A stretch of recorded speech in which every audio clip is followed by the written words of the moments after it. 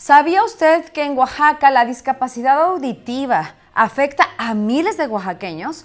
Precisamente nuestra compañera Yadira Sosa nos tiene los detalles. Adelante, Yadira, te escuchamos. Buenas tardes.